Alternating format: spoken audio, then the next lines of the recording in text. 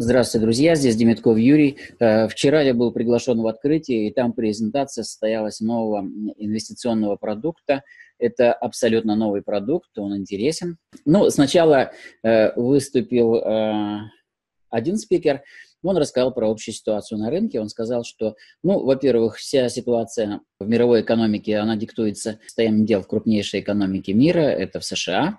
Вот. А в США ситуация следующая. В прошлом году наблюдался достаточно бурный рост э, во всем, в экономике, в индексе S&P 500. Безработица э, находится на минимальных уровнях – практически исторические, и Трамп, конечно, ликует, вот, но Федрезерв для того, чтобы немножечко остудить вот этот вот поступательный тренд, потому что, ну, чтобы не было, не было перегрева, он начинал повышать постепенно ставку. Но, как э, говорят аналитики открытия, э, следующее. Получается, что когда безработица снижается, что получается? Компании получают прибыль, они хотят нанять новых сотрудников, э, людей можно нанять только путем повышения э, ну, привлекательности условий, повышением оплаты труда, и это уже, естественно, тормозит эм, э, рост экономики, с одной стороны, а с другой стороны, еще и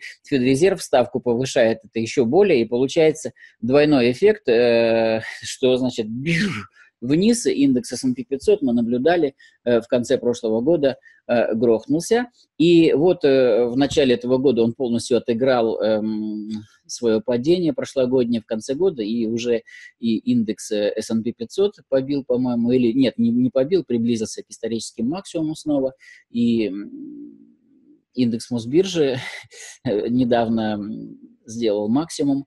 Поэтому что ожидают аналитики?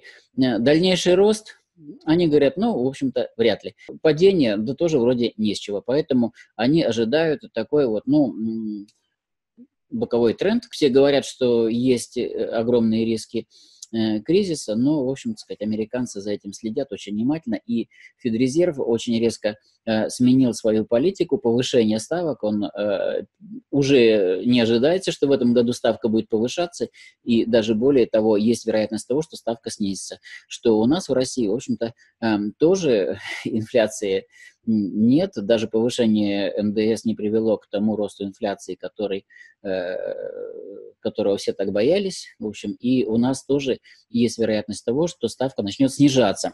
Значит, что э, предлагают э, аналитики открытия?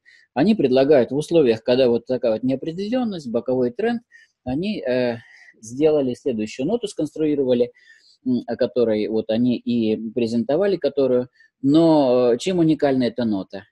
Эта нота – это первый продукт от открытия. То есть если обычно вот ноты, про которые я раньше рассказывал, они все были, эм, были эмитентами этих нот э, крупные иностранные инвестиционные какие-то фонды, вот, то сейчас один из первых российских брокеров, это открытие, оно создает собственную ноту, которая будет котироваться на а, биржи, которые э, можно купить не только у открытия, но и от любого брокера. И вот этим она важна. Они очень с такой с гордостью говорили, что э, ну вот первый опыт. И э, что это такое, сейчас давайте я немножечко подробно расскажу. А, биржевая инвестиционная нота, биржевая инвестиционная облигация банка открытия с условным купоном. Эмитентом является не Natixis, не э, Goldman Sachs, а именно открытие. А, банк открытия сейчас имеет такую же степень надежности, как и государство, потому что он на 100% принадлежит э, Центробанку, то есть государству. Вот. То есть э, гарантированно что ну точно все будет. Ну то есть э, выше гарантий у нас нет. Они предлагают следующее. Купон 15% годовых, условный.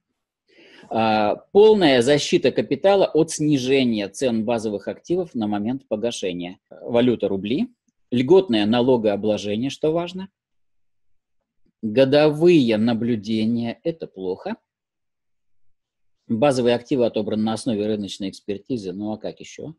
Срок 3 года. И вот что важно, ликвидность, наличие вторичного биржевого рынка. Сейчас подробнее вот немножечко об этом. Но смотрите, как они обосновывают э, то, что это luxury. Триггеры роста компании индустрии luxury. Смотрите, они говорят следующее.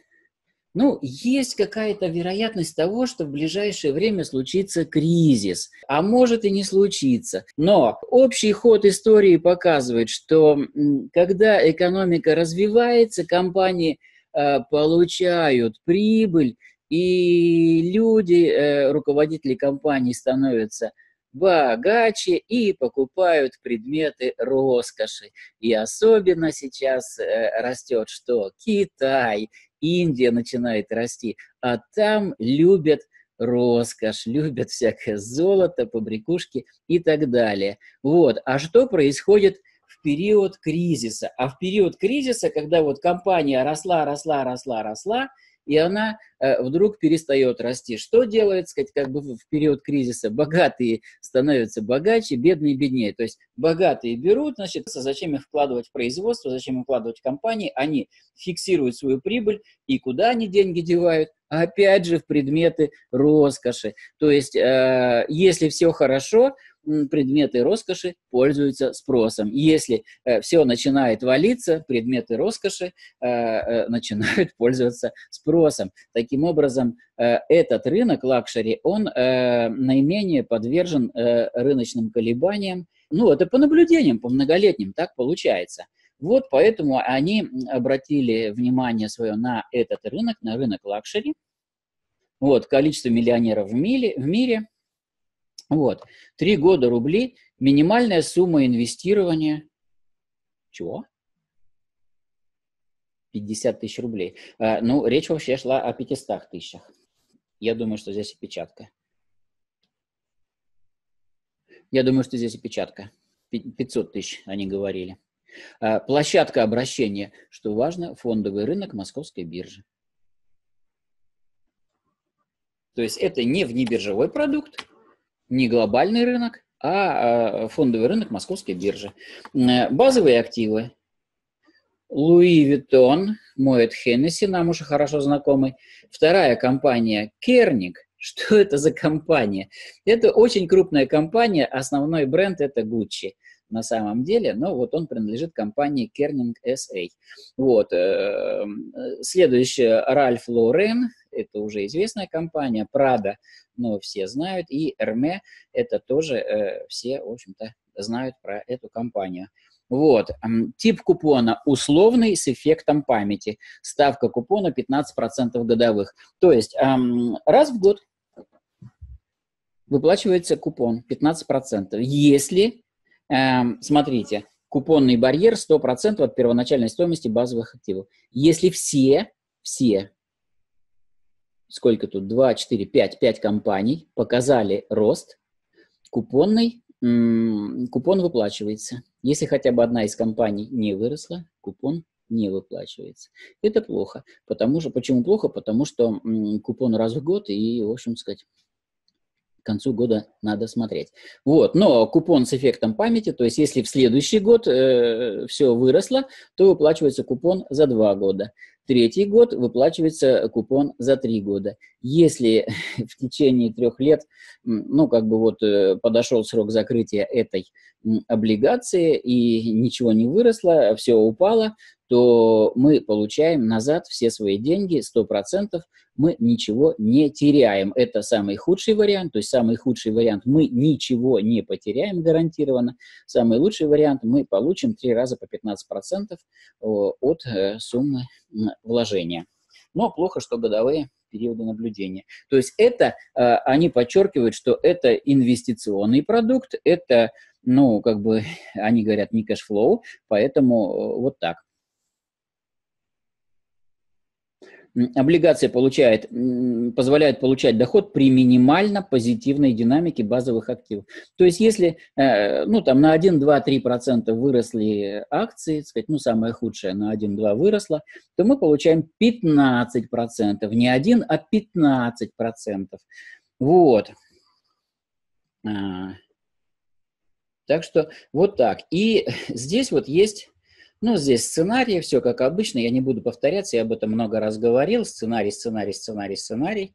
А, обзор базовых активов. Вот здесь смотрите, Луи Виттон, посмотрите, он рос, он сейчас на пике. И э, скальперы скажут, ну как и можно брать э, акцию, которая на пике, покупать. Ну, это взгляд скальпера. Если мы будем смотреть на э, период э, трехлетний, то, соответственно, это все э, не так важно становится. Не забываем, что срок продукта 3 года. Kering SA. То же самое, сейчас локальный, ну, почти максимум. Почти максимум. То же самое, ну, как бы вот да, так, если luxury будет расти, то все будет расти. Вот, и, и если все будет падать, то luxury не исключено, что и вырастет даже. А, Ralph Lauren. А, вот э, Ralph Lauren уже, так сказать, не совсем даже и максимум, то есть есть куда ему расти. И, соответственно, Прада, Прада тоже как бы здорово припала, есть куда расти. Вот, э, ну и Эрме, Эрме близко к максимуму историческому. Расчеты проводились э, при стоимости актива вот такой. Продукт еще не запущен, сейчас идет сбор заявок. И э, можно просто обратиться к своему менеджеру, и э, он э, ну, просто вашу заявку тоже туда включит. Вот. При открытии данного продукта, вот, это будет как бы IPO, там э, комиссия будет не маленькая, это 2000 рублей за открытие продукта. Но вот что интересно, смотрите, мы, конечно, инвестируем, мы, конечно, инвестируем на три года, и мы можем смотреть за динамикой вот этих активов. Если они растут, то есть там не будет никакого НКД, это облигация, но НКД не существует. Но, смотрите, смотрим за динамикой. Если все базовые активы выросли, то вероятность того, что купонный доход будет выплачен, 15%, она очень-очень высока. И смотрите, вот э, здесь период, и, значит, вот мы идем сюда. И э, 15% это немало. Поэтому э, и эта облигация торгуется на м, фондовом рынке Московской биржи. Понимаете? То есть будет э, стакан заявок, и ее можно будет продать в любой момент. Если активы выросли, то э, ожидается, например, что будет 15%, ее можно будет продать, они гарантируют, что ее можно будет продать, потому что э, на фондовом рынке э, в открытых торгах она будет торговаться, и там есть кто? Маркетмейкер. Маркетмейкером выступает э, открытие брокер. Что такое маркетмейкер? Смотрите, вот мне недавно э, в письме кто-то написал, что открыл облигацию вот такую структурную э, в, ну, у небольшого брокера. И случилось так, что нужно вернуть деньги. Ну вот, вот как вот, ну выйти? А она вот на три года, что делать? И, э, говорит, он обратился к брокеру, и брокер сказал, э, я не буду называть брокера этого, я не хочу антирекламу делать никому. Брокер, в принципе, нормальный, хороший, надежный, но э, низколиквидный, то есть брокер небольшой. Вот. И э, они говорят, ну, мы готовы выкупить вашу облигацию э, с потерей 30%, то есть за 70% от э, номинала. Вот здесь этого не будет. Открытие брокер гарантирует ликвидность этой облигации. То есть если кто-то э, выставляет облигацию, например, за э, 70% от номинала, то открытие тут же выставит э, такую же облигацию. Ну, короче говоря, он будет выставлять лучшую цену или, сказать, ну, моментально вот такую купит. Так, так что не будет никто никого вынуждать что ну, всегда будет заявка на покупку и на продажу по адекватной цене. То есть вы сможете потерять, ну, там, ну, 3%. Вы, ну, то есть, ну, понятно, что вы потеряете от номинала, да? Ну, 3, может быть, процента, ну, ну 5 процентов, но не больше, понимаете? То есть э, любую заявку, которая выставлена, э, брокер обязуется выкупить. И, э, ну, например, если кто-то выставит, например, эту э, ноту, эту облигацию за 1.15 от номинала, то брокер тут же выставит, например, за 1.02 или там 1.05 от номинала. Ну, в зависимости от того, сколько времени до момента очередного наблюдения и что там планируется при очередном наблюдении, понимаете? И точно так же, если кто-то выставит цену э, на покупку по 0,7 в надежде, что кто-то от отчаяния э, э, решится продать, то брокер выставит всегда э, как бы э, 0,95 от номинала и заявка на 0,7 от номинала будет где-то далеко-далеко внизу. То есть э, вы гарантированы от того, что вам придется э, терять большие деньги э, при вот, э, э, ну, если придется срочно забрать деньги досрочно. Поэтому вот, вот этим она хороша, во-первых. Во-вторых, ну, если вы, например, являетесь э, клиентом другого брокера, скажем, БКС или Финам, или э, Сбербанка, или Тинькофф банка, вы тоже, ну, насчет Тинькофф не знаю, так сказать, у них нет э, Квика, насколько я помню, вот, но э, любой брокер вам просто вот у которого есть там ВТБ, э,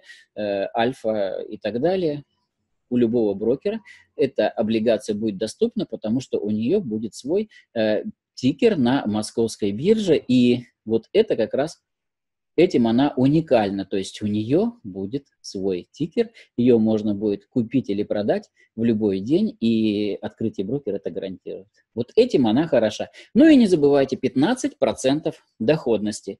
Вот э, такая нота. Как, э, ну, как всегда, я скину э, всем желающим презентацию вот эту вот по этой ноте. Абсолютно ну, как по запросу, так сказать, найдите мои контакты, я вам скину. Ну, а тем, кто закончил мой курс биржа для чайников, э, в чате я просто вот, она будет всем доступна. Я в чате э, всем скину эту презентацию. Всем, кто не в чате, ну, так сказать, как бы по запросу. Поэтому а, вот такой структурный продукт был. Ну, было очень интересно на самом деле, потому что там это была встреча такая кулуарная, там было всего немного человек, Э, съемку я не проводил, но э, была возможность просто вот лицом к лицу с аналитиками задать им все-все-все э, необходимые вопросы, и мы их задали. Э, ну, э, самые какие вопросы мы выясняли, смотрите, все базовые активы э, номинированы в валюте, и, э, значит, рост должен быть э, именно в валюте. Вот, наш вклад он рублевый, э, соответственно, вклад привязан, э, наши инвестиции привязаны к рублю. То есть инвестиции будут 15% годовых в рублях, а рост или падение базовых активов – это в валюте. И вне зависимости от того, э, какой будет курс рубля к доллару. Вот э, такая интересная нота. Они сказали, что, э, вернее, облигации, они сказали, что такие облигации они планируют еще сейчас, но вот это вот первая облигация, ну, просто вот из российских э, брокеров. Я у них спросил, говорю, ну, хорошо, там я видел облигации от БКС, их много достаточно с условным купоном. Они говорят, ну, да, это БКС, но у них там хитрая схема. То есть эмитентом тех облигаций является кипрский филиал БКС, значит, э, он является эмитентом. Эти э, облигации зарегистрированы на ирландской фондовой бирже почему-то. Вот, и с ирландской фондовой биржи, значит, здесь они уже какими-то расписками котируются на московской бирже. Здесь будет не такая длинная цепочка, здесь непосредственно брокер, выходит на московскую биржу. И они сказали, что ну, у БКС, извините, так сказать, там а, ну, немножечко рейтинг все-таки э, пониже, потому что ну, просто объем э, обеспечения у БКС ниже. Вот. Ну, э, вот такая новость. Э, сейчас, пожалуйста, лайк и до встречи. С вами был Демитков Юрий.